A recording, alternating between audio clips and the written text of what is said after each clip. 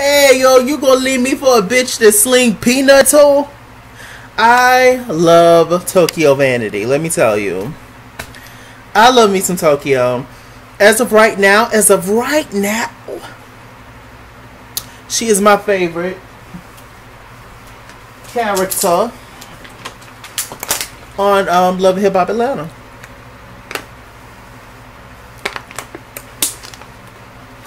So funny. Oh my gosh. She had went out of town, child.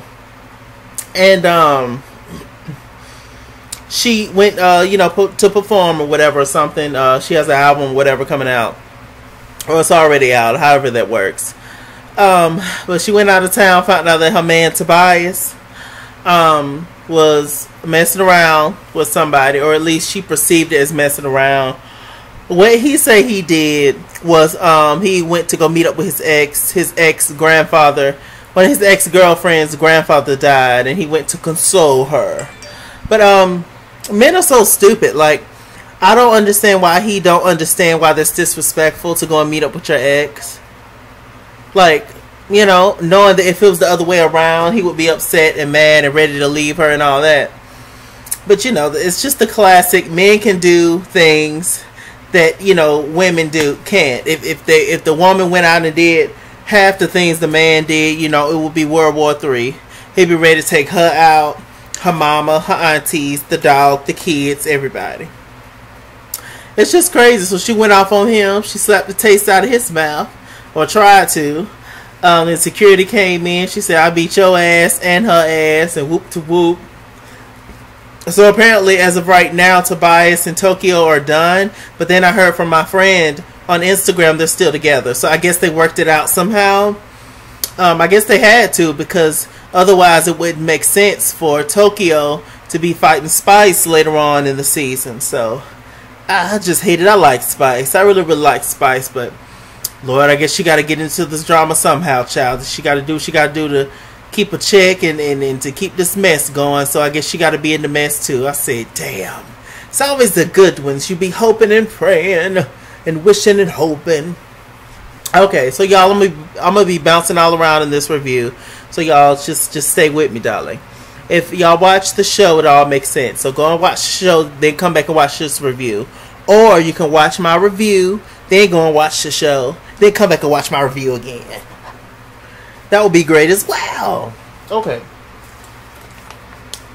So, a Lil Scrappy coming back from Miami, you know, messing around with Shay them and Love Hip Hop Miami. And um, he came back to surprise Momma Dee. Momma Dee done got her whole new rack. Um, these. She done got her um the whole new ass, a whole new body, a whole new toenail. Momma Dee is a brand new woman like Nene Leakes. Um, he, she came. He came to the door. He ended up telling her, "Look, I got another baby on the way." And she was just like, "What? I'm gonna have another grandchild." And the Bam, the Bam is pregnant. We all know that Momma Dee and the Bam um, did not have the best history. Um, you know, they didn't get along for a while, but you know, that's who his um his his his uh that's who her uh, son chose. And so, hell, what are you gonna do? It's weird because I see Erika Dixon. She's gonna be um, back on there next week. Um, you know, that's that's Scrappy's first baby mama. Uh, so it's it's gonna be interesting, child. I was wondering when Erika's gonna come back. Not that she's missed, because uh, she wasn't that big of a you know star in my opinion. Um, but you know she's gonna be coming back, so we'll see. I always thought Erica was pretty.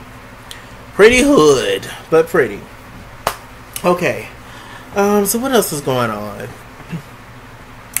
So they did that. Um, the Bambi, um, you know, she came back. She's like four months pregnant or so. I think maybe she had the baby by now. In real life, I don't know. I don't know for sure. Um, but I don't like that blonde hair on her. Um, um you know, I, I want us sister sister girls to get um that right shade of blonde that works for them. And blonde just don't work for everybody, no matter who you are. Um, but I definitely do not like Bambi and blonde hair. At least not that platinum blonde, ice white hair. I'm getting so sick of that. I wish people pick another color down, child. Surprise a hoe. Give me some bright red or something. Give me a ginger tea, something. But anyway, um, she met up with Rasheeda and Tammy Rivera. Um, they were sitting around talking. Uh, Momma Dee invited Rasheeda and Tammy. Bambi, you know, she wanted to make it all a big secret that she was pregnant, even though she told everybody, millions of people on TV. I wanted to be a secret. I just didn't want to tell the whole world. You just told the whole world, girl. What you saying? Trying to kill me with that. Um. So yeah, but it was interesting to me because uh, me and my mom was talking about it, watching Love and Hip Hop Atlanta, and um, baby was just like, "Yeah, I didn't tell nobody but my mom." But baby got mad when Scrappy told his mama. I'm like, your mama is just as much of grandmother as Momma Dee is. Momma Dee is Momma Dee is a lot, but that's still, you know, that's that's your husband's mama, and you told your mama. What what's the problem? But you know, I'm guessing it's just because her and Momma Dee haven't had the best history. But they okay for right now. They okay. They okay for right now. Okay, so what else is going on, child? Uh, let's see. I don't think it was much to this episode, except for um the whole fight scene. Hell, that's all I can think about. Okay, so Tokyo Vanity, she was having a, a, album release party. Everybody was there. Random girls climbing up the walls like Spider Man. I said, "Who is these hussies?" But anyway, um, you know they're having fun, living their life, and um, now remember, Karlie Sierra, and Tokyo had set up this whole little pack um, that they was gonna get Sierra. Um, they was gonna get um, sorry, they was gonna get Kelis, Keely. They was gonna get Keely, child. And um, so Karlie them ended up invite inviting Blue Davinch. Blue Davinch is apparently Keely's baby daddy. Um, now Bunchy, Bachi, whatever his name is, um, he looks like Jaleel White, Bachi, except dark skin. Y'all know Urkel. That's who he gives me a little bit with the big eyes and stuff. He looks like Jaleel White with a little bit of um Isaac Hayes tease, a little bit. But anyway, um, you know, he did not know who Keely's baby daddy was. Um, and so uh, he found out that it was Blue, and him and Blue actually grew up together, had some kind of relationship growing up. So Blue had a conversation with Banchi, Bachi, whatever his name is. Um, and you know they had a grown man conversation. He said all he asks is that you know when it comes to Keely and their child that he stays out of it and basically just mind his business. And Bachi, you know, he agreed. Um, Bachi seems really cool and nice, and he don't seem like he's about the drama, which is very interesting when I see that because usually somebody who's really nice and laid back always end up with somebody who's a hellraiser, and Keely is definitely that in the relationship. Um, when Keely actually got there, you know, don't nobody, everybody against Keely at this point because she stuck her nose and shoot her in Sierra's business had nothing to do with her nothing. Um, Keely showed up, everybody looking at her crazy. Now Keely being messy, Keely brought Drea, or Dreek, whatever her name is, which is Shooter's um, other woman that she hooked Shooter up with because she felt like Sierra wasn't taking care of her duties. So she stepped in as Shooter's friend. Child, please. So anyway, um, before I get to that, um, Blue and Keely, you know, the baby daddy and the baby mama, they went to go have a conversation. He was yelling at her. He said, I just want to see my son. Keely said that you ain't made no effort in a year and a half to see your son. So I'll let you know if I want you to see your son or not. Um, and I'm thinking to myself, dang, it's been a whole year and a half. He haven't done anything for his son. Um, but you know, it's, it's obviously, I think it's a situation where it's more so her that's kind of holding the son hostage, as, as a lot of people do, because she's, you know, still angry at Blue because of whatever he put her through and you know who knows how much um, Blue put Keely through. You know nobody knows. So you know maybe she has a good reason. Uh, but Blue look a little crazy, and Blue look a little like feared because I could tell Bachi was a little shaken and nervous in his boots. Blue looked like he you know he he'll cut up some stuff. So I don't know, child. So after they had that conversation, um, Keely went back over to the crowd. She was just like, "Look, I ain't gonna never let uh, my haters see me sweat." But you know, everybody had already saw y'all yelling and stuff, Keely. So I don't know what you're talking about. So, um, they went back over there, and um, Keely tried to come for Karlie uh, about Tobias. Um, you know, uh, Karlie already talked to Tokyo about Tobias that they used to. Um, they went on a few dates, but they didn't have sex or anything. And Tokyo already know. Tobias was just like nothing happened between us.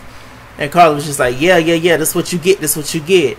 Sean Garrett just looking at Karlie crazy. Karlie throwing shots at Yung Joc um, which is you know weird. That you know Karlie crazy child. So here comes Sierra pooching in, bouncing in, twisting in. Now Sierra came in there with Bachi's other woman, on again, off again woman named Crystal, I think. So each one of them had somebody else with them for somebody, you know, and of course all those people in a room together that can't stand each other, um, it's going to be some issues, like obviously. And Bachi told Keely to stay at home, but she wanted to come out and, you know, be Keely. So Sierra came in and Keely started on Sierra. She was just like, "Yeah, this is um Drea. This is my sister. This is you know Shooter's woman." And Sierra was just like, "Shooter? Who Shooter?" Child, before I knew it, before any of us knew it, that darn Sierra she picked up her purse with bricks in it. Y'all know Sierra known for throwing purses, child. But she threw a purse at Moriah last season. Sierra picked up that heavy ass purse. And she slung it and hit Keely in the head. And they had a hold of each other's hair, child. It wasn't going nowhere. They had a hold of each other's hair, child. I actually put my hair too hard had a hold of each other's hair child. It took like 14 police officers to get them ladies out of each other's hair, legit. Sierra just, you know, I, I guess she just felt so disrespected she just had to take it to her. and then we have, um, they trying to hold Big Tokyo back. Um, they, you know, call it jumping all over people with that blonde wig on playing leapfrog. It was a mess. I was just like, ooh. Sean Garrett falling out all on the floor. And Sean, little sweet Sean, he ain't hurt nobody. He ain't got no issues. He ain't got time. Sean is the legit, real boss in this music game. I don't even know why he on the show. Especially messing around with um Fire Crotch Red. Child. So anyway, um so after that whole fiasco, Sierra met up with Tokyo, Karlie, and Crystal. Um, other woman, they had a conversation, was just talking, and Sierra apologized. Said, I'm sorry I put y'all in that kind of predicament, but something just came over me and and all that. And, you know, she just couldn't take it. So, you know, now it's permanent beef between Keely and Sierra. So that's going to be a mess. Um, what else happened? Uh, the guys met up and had a conversation about the whole thing. Um, Blue, Joc,